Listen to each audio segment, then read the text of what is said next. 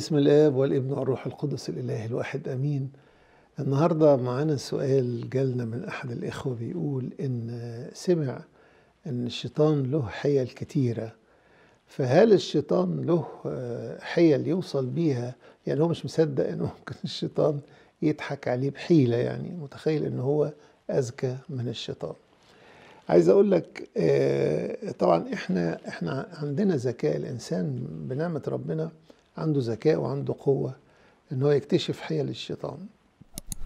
لكن مش عايزك تنسى إن الشيطان له حيل كثيرة جدا ومتعددة.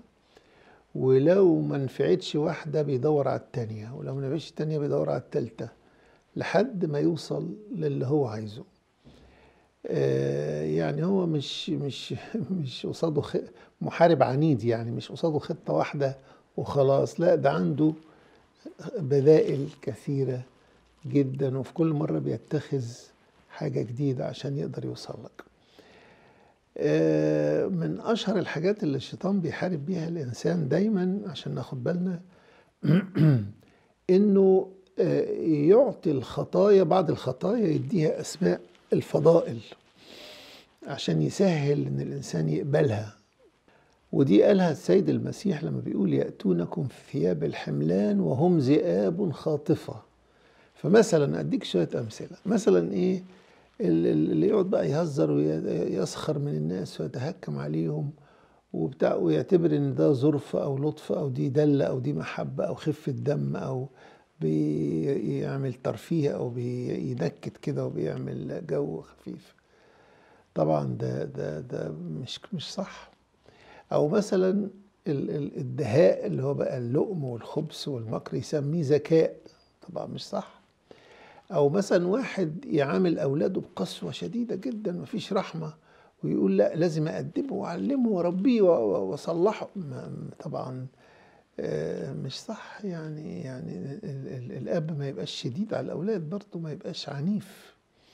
وبرضه لو في واحدة عايزة تتزين. باسم التزين مثلا تبتدي تلبس ملابس غير لائقة ويبقى في أجزاء من أجسادها عريان. وكل ده باسم الأناقة واسم الذوق والتطور مثلا يعني واخدين بالكم. برضه مثلا الرياء ده حاجة منفرة ما حدش يحب يعيش في الرياء. ولكن آه إنسان تبص تلاقيه يهتم بمظهره الخارجي. ومثلا يبقى من جوه تعبان. يعني مستعبد لخطايا كثيرة جدا و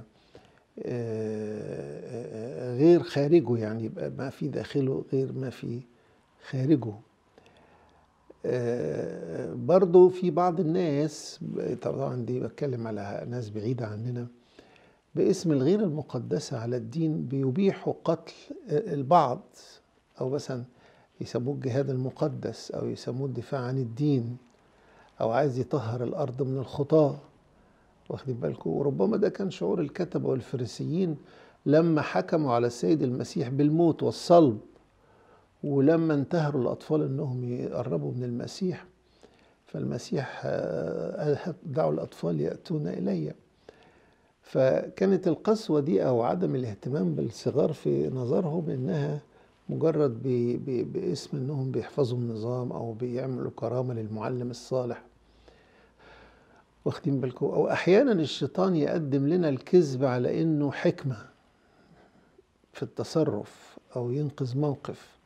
أو مثلا الطبيب ما لا يكاشف المريض بمرضه ويسميه ان هو بيخايف عليه. واخدين بالكم؟ أو في بعض الناس يلجأوا لنوع من الكذب ويقول ده كذب ابيض. واخدين بالكم ويجوا في أول أبريل باسم الفكاهة والدعابة ويبتدوا إيه يتندروا ببعض الأكاذيب لكن كلها تبقى مش مقبولة يعني.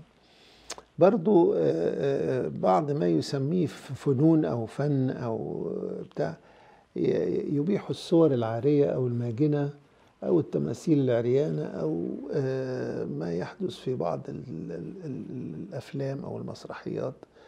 أو المزيكا كلها بتبقى تحت اسم الفن ولكنها بتبقى مليانة بالعثرات وبالأخطاء. فهكذا الشيطان له حيل وله طرق متعددة جدا يجب أن الإنسان يحذر منها ويعطي كل حاجة باسمها الحقيقي. وربنا يحافظ عليكم.